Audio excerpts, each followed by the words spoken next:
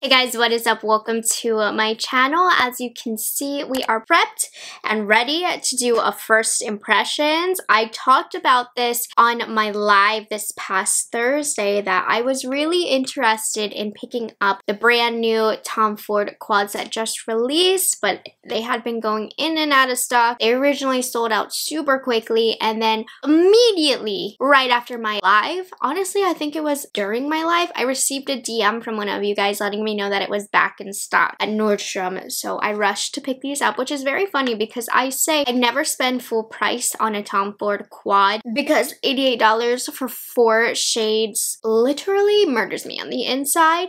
However, FOMO really does work. The fact that it was selling out, I was like, whoa, whoa, whoa, I need to try this out. So I did get my hands on them. If you want to hear about them, then just keep watching.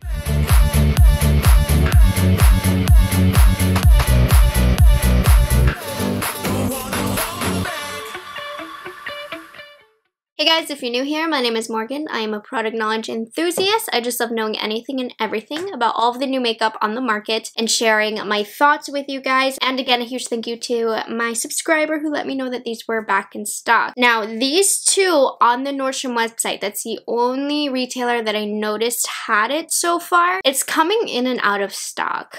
I don't know, Nordstrom doesn't seem to release their entire stock. They're doing it in like small batches. When I checked this morning, these two palettes were not available. However, I would suggest leaving it open up in your browser and refreshing and you'll see it pop up. It's just in the regular luxury quads from Tom Ford page with the regular permanent collection and you'll know when they're back in stock because the two names will pop up and when they're out of stock, they don't even say out of stock they just disappear. So just keep an eye for them to come back in stock and show up. But I picked them up though. I'm really, really excited. So we're to talk about the names. And that deserves a portion in this review because there was a little bit of miscommunication here. There's like two names to these quads.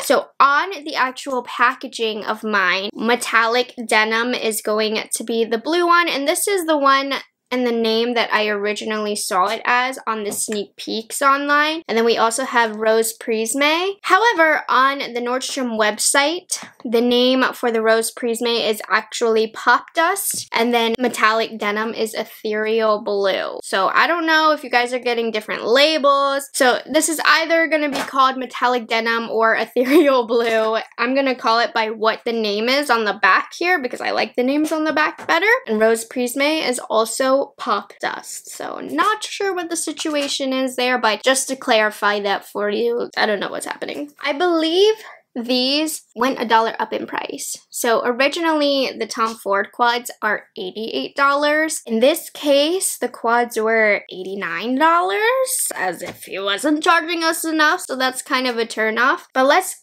take a closer look into the quads here. I'm not sure if these are going to be limited edition. I believe they're going to be a part of the permanent line. However, if you have a solid answer for that, let me know. Tom Ford is notorious for just discontinuing things out of the blue though, regardless if they're popular or not. It's very, very strange. Cocoa Mirage, I mean. So I feel like you just you just never know. Let's take a look at Rose Prisme here. Now, if you don't know, the Tom Ford quads are made in Italy and they are six grams. So this one is definitely very, very light. You really only have a mid-tone here, no deep tones. It's gonna give you an overall light and ethereal look. Formulation of both of these quads are the wet dry formula, which is his most popular formulation. And here's what the swatches look like dry. Now you can use these wet, but you can use any eyeshadow wet. But these do particularly well with a little bit of water. So I'm going to quickly swatch them wet. So how I like to apply his shadows wet is I go in with my brush dry and then I use a spray. I'm just using Mario Badescu spray and I spray the brush. Now the first shade that I'm swatching here wet is a lid topper shade. It's his glitter formulation. Very subtle and sophisticated as far as a glitter can be. And here it is compared to the dry swatch swatch. We're gonna go into this peachy shade right here. Spray the brush. These are brush swatches that I'm swatching wet, so they actually might be softer than you'd anticipate, but you see it has a little bit more metallic to it. We're go in for this really light powder pink, almost lilac kind of shade here,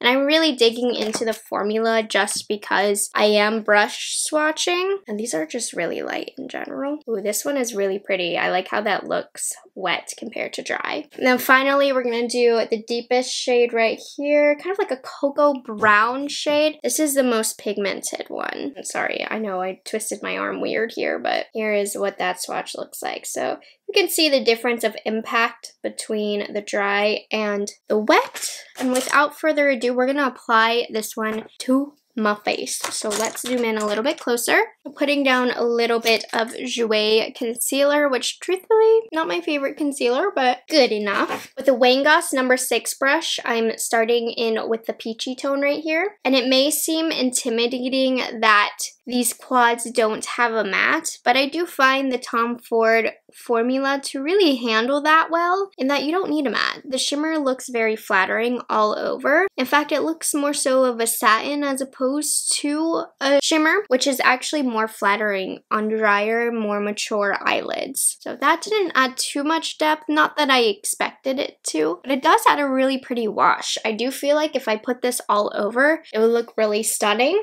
I'm going to use the same brush and we're going to go into the deeper brown tone here. See how deep we can get this.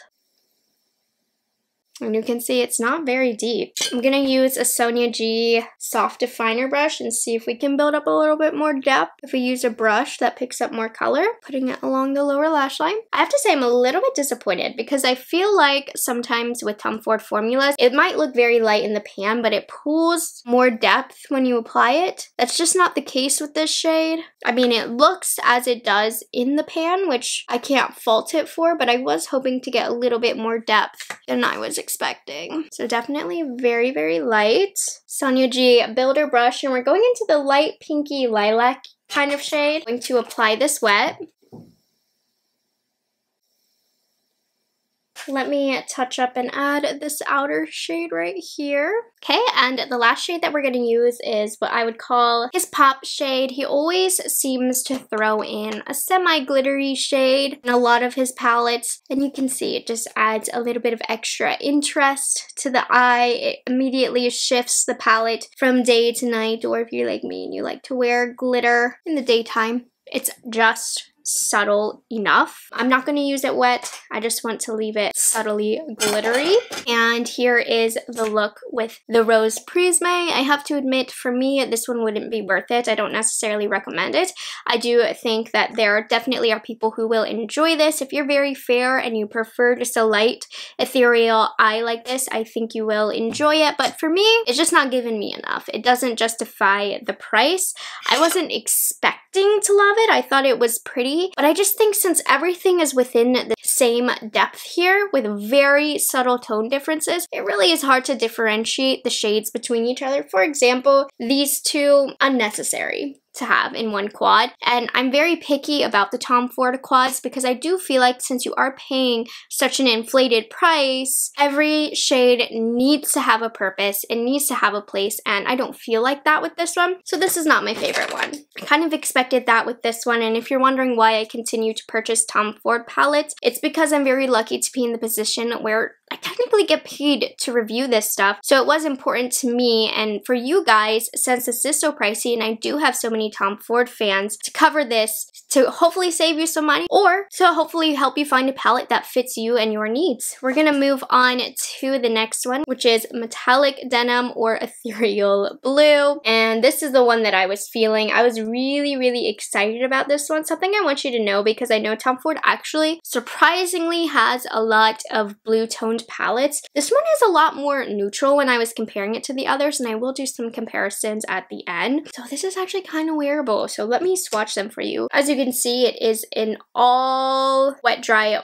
formula palette. We'll do dry first. The shades in here have more glitter particles compared to the Rose Prisme because the Rose palette, it's all pretty sleek, shimmery shades, no glitter except for the top one. And in the metallic denim, you can see all four shades do have traces of glitter, which I like. I'm a glitter girl.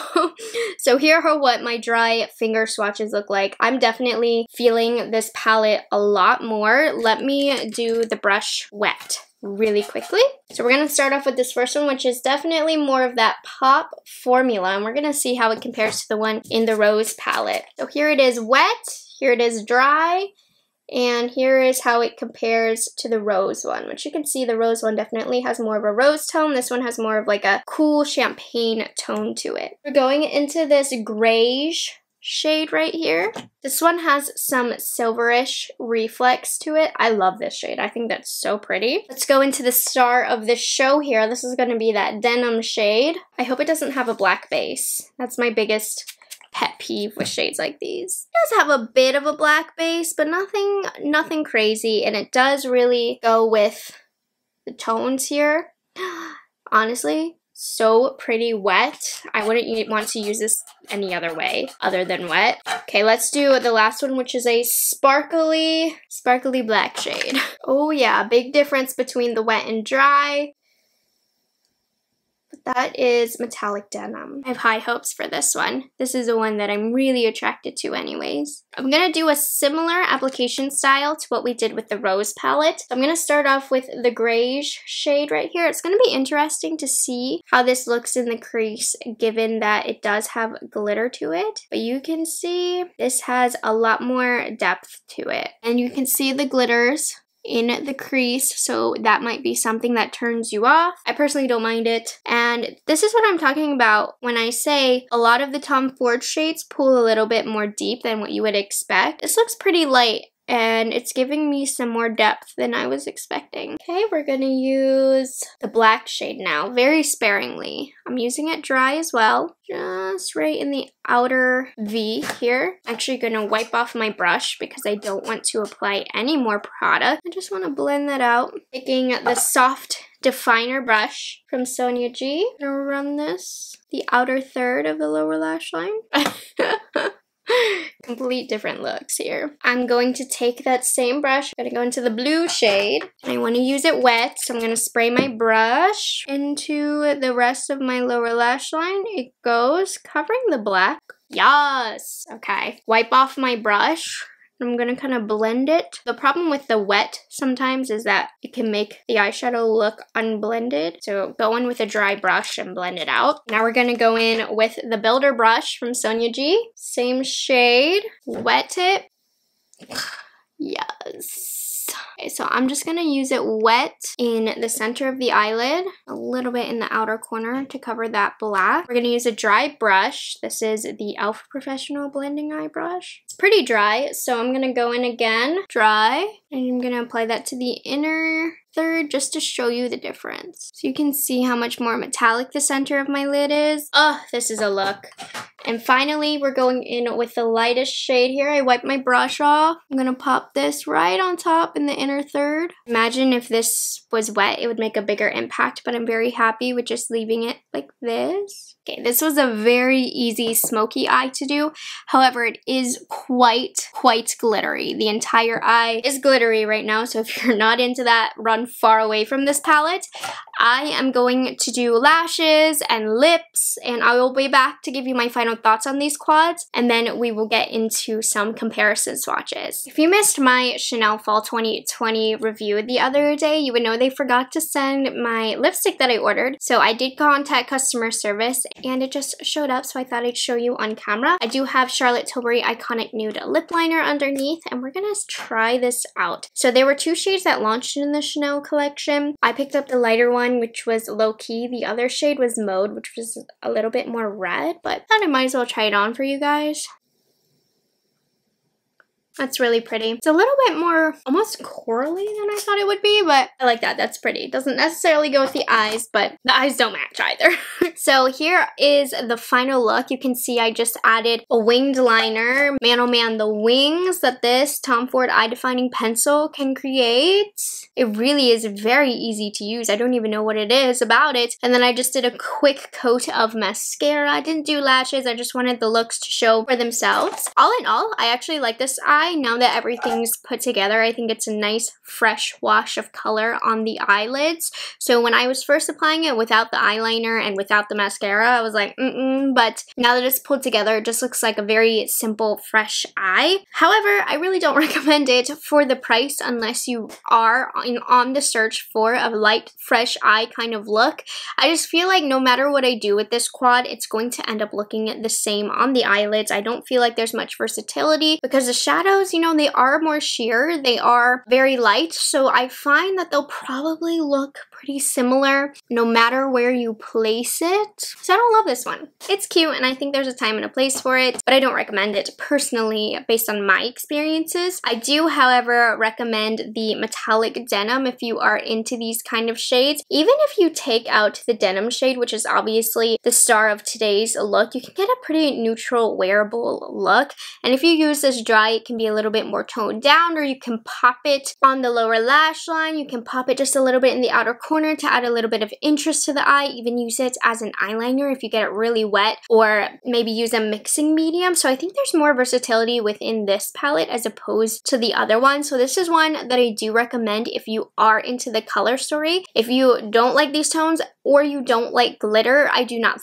think this is a palette for you. I don't have any glitter fallout on my face really. I'm sure that will happen over time, but I don't really struggle with the Tom Ford glitter shades at all really. I find that they stay put, but if you are wearing glitter, it is given. Some will fall. It is what it is, but nothing too crazy from the brand. So yeah, we like metallic denim. Not as big of a fan of Rose Prisme. Glad I could try them out for you guys. Between my mother and I, we do have a pretty good Tom Ford eyeshadow palette collection. So I probably won't do too many swatch comparisons because these two quads I do find to be quite unique within the line. But let's take a look at the three palettes that I thought were similar to the Rose Prisme. This one is definitely the more unique of the two. So the first one that we have is from the winter collection, not last year, but the year prior. This is Soleil d'Hiver, and they both give you that light kind of eye. Honestly, these three of the shades do look very close. So let me let me swatch them. The difference really is going to be this shade right here. That lilac shade is not present in the Soleil d'Hiver, but everything else seems quite similar. Top four swatches are Rose Prisme, bottom swatches are Soleil d'Hiver. Honestly, these are very, very close. However, I much prefer the Soleil d'Hiver. Do you see how much more pigment you're getting and depth and variety here? So they do kind of give off the same colors, really, but they are different and Soleil d'Hiver is a bit better, in my opinion. I also picked out First Frost, which is a newish palette from Tom Ford, and I don't really find these two to be very similar. I guess I'll do some swatches for you, but they do seem quite different to me. They just are lighter palettes, but they aren't necessarily very close. So First Frost is at the bottom now, and First Frost is actually one of my favorite Tom Ford quads of all time. And it, you can see the difference in pigmentation between the two. You're just getting more with this formulation. Okay, so those were the only Tom Ford palettes that I thought were comparable, but when I did originally see the launch of the Rose Prisme, it did remind me a lot of the Pat McGrath Celestial Divinity Quad in Fleur Fantasia, which is the one with the lilac packaging. Just because there was a lilac shade and a peach shade, I thought they were similar. But to me, the Pat McGrath is definitely more vibrant. It's more fun. And I thought the Pat McGrath was pretty toned down. And now comparing it to the Tom Ford, it's definitely making it look more vibrant. But these two aren't comparable swatch by swatch. But Tom Ford is definitely the more subdued version of the two. Now, surprisingly, there are a lot of blue quads quads in Tom Ford, so I have a few that I am going to show you. I do not believe this quad is available anymore. I am showing the limited edition ones, but right here we have titanium smoke. We do have the glittery black, but other than that, I think they are very different from one another. Here's another limited edition one, Silvered Topaz. These definitely are incomparable, and you can see this is a normal formula. It's not the wet dry formula. Another blue palette, just so you can really see what the blues look like in the metallic denim. You can see it's much more toned down. This is Starry Night right here, which is more navy and actually has a true blue base, whereas the metallic denim really pulls more gray. This is the quad that I thought of immediately when I saw the metallic denim. Double Indemnity. You can see Double Indemnity does not have the blue, but if it did, these would look very, very, very similar. I am going to swatch these two. The bottom is Double Indemnity. The top is the metallic denim. You can see the denim one. It's truly just an all glitter palette compared to the Double Indemnity, which has the true shimmer shades here. So the dupes, of course, are obviously going to be the black, but they are different. In fact, these two would combine together well to create a look. The last one that I thought was worth comparing was from the holiday collection a couple years ago as well. This is Soleil Neige, and I got a lot of requests to compare these two, so I am going to swatch these as well. I'm just going to swatch them right underneath the Double Indemnity swatches. You can see how all three of them compare. Soleil Neige is definitely, I gotta twist my arm here. So the bottom row is the Soleil Neige and those two are definitely a lot closer than I thought they would be. They all have those glittery shades. I'm gonna be honest, if you have Soleil Neige, I do not think you need the metallic denim. The metallic denim is a little bit more subdued. It has a touch more neutralness to it, especially since the Soleil Neige has this bright shade down here. It has a little bit more brightness. There's more variety as far as depth goes in the Soleil Neige, which I think makes it even a little bit more versatile because it has this white. But yeah, these are very, very close to each other. Very interesting. And there we have it. Those were my thoughts on the two new Tom Ford quads. I will always continue to be a little bit more hard on Tom Ford when it comes to eyeshadows just because I think the price is, it's a lot. We did have one success this other one, it's not unsuccessful, but it's definitely not my favorite. So let me know your thoughts on these quads down below. Are you going to pick them up? If you guys aren't subscribed to my channel already, I would love it if you would consider taking the time to do so. And I will see you all in the next one. Bye guys, have a good one.